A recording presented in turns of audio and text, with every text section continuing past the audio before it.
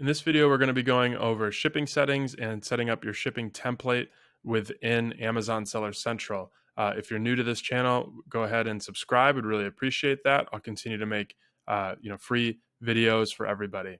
Um, but so when you log into Seller Central, this is not the page that you will be on. You'll be on your main dashboard. But to get to this view of shipping settings, you'd go to the gear icon in the top right, and then you just go to shipping settings. Okay. And then you'll land on the shipping templates view. And this is where you can go ahead and establish what you will be charging for FBM orders. Okay.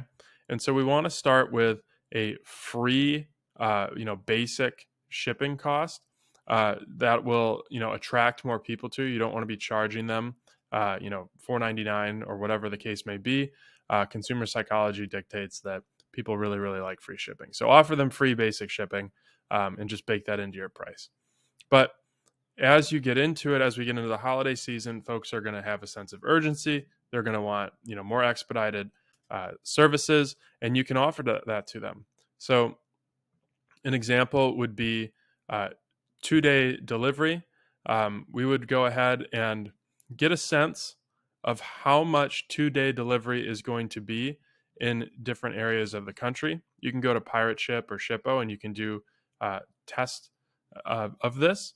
And so, what you would do is you would take a product that is maybe like the average product that you sell in terms of size and weight. You'd go ahead and throw the dimensions into their program, and then you would go ahead and just get that number.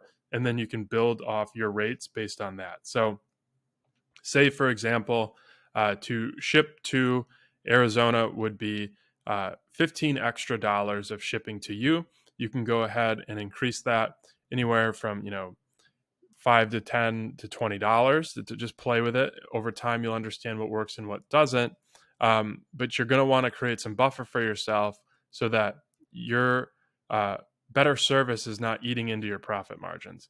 Um, so, what you want to do is you want to go through for all of the regions that you could be shipping to, get a sense of how much it's going to cost, and then just create that buffer so that you are left not holding the bag for the shipping. And you'd want to go ahead and get a sense for um, not only very light items, but also heavier items. So uh, you can go ahead and just charge your base fee plus a per pound amount. Okay.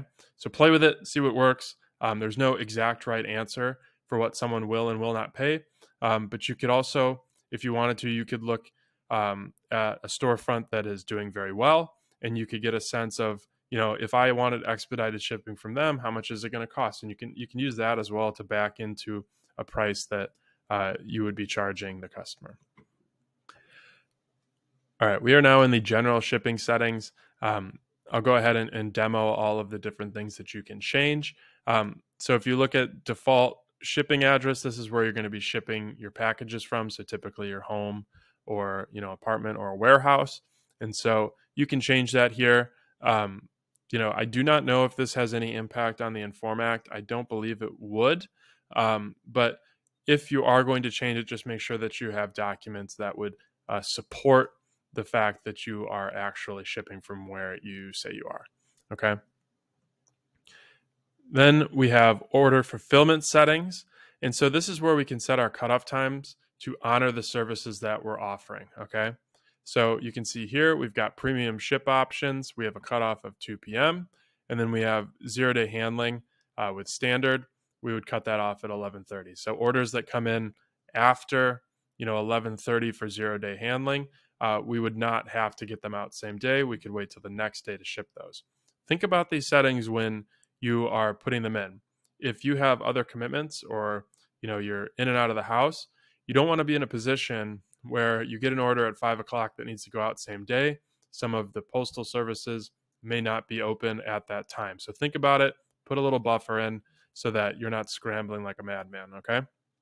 Um, you can also change your um, weekend operation. So you could decide, you know, do you want to be fulfilling orders on the weekend? Um, this may be a competitive advantage, you know, especially during very busy seasons. You know, if you're willing to get the packages to where they need to be, um, you know, even on weekends, that could be an advantage. You might get more buy box share, but you have to think about your ability to fulfill it. If USPS and UPS are closing, then you may be in a pickle. So you really have to think about these settings before you offer them, or else you're going to have clients that are upset. Okay. Um, we'll go over some a, few other important ones. So handling time. This is where you would change your default handling time. Um, I just do zero, and then you want to go ahead and change uh, your order handling capacity uh, to indicate how many orders you can fulfill in one day. All right. So pretty straightforward there. Um, and then we also have the holidays option. Okay. So you could say, regardless of what date these are on, I'm not going to be fulfilling packages on this date. But those are all the shipping settings that we can change within Amazon Seller Central. I hope this was helpful. Um, if you wouldn't mind going and liking and subscribing, that would really help me out. But I will see you next time.